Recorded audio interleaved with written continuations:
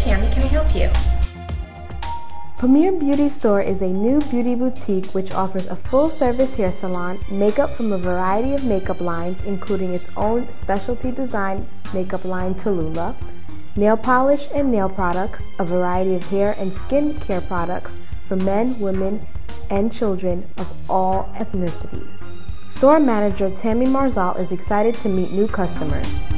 Welcome to Premier Beauty. We are a beauty boutique and we have a salon and spa. We opened on June 25th, so we've been open for a little over a month now and it is a beautiful store. I would just love for you all to come in and see it. We offer um, some very good skincare products that you cannot find everywhere.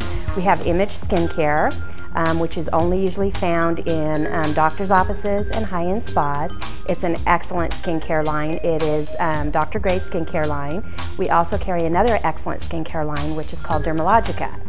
Um, these are both very good skincare lines that are also used in a lot of the schools here that train estheticians. We try to give that one-on-one -on -one service that a lot of big department stores can't give anymore.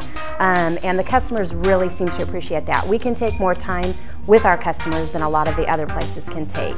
Um, as, as far as asking them questions, sitting them down, um, you know, putting makeup on them or demonstrating cosmetics or skincare on their hands, um, even taking them into our salon area if they want to try a hair care product.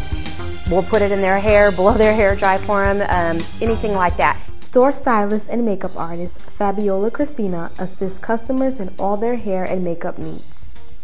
Actually, we're an Alfaparf salon, Italian color line, plant-based. Come on by, see us, we're happy and extremely excited to meet everyone in the neighborhood and start a new clientele that are not just clients but friends. We wish you all to have a premier day.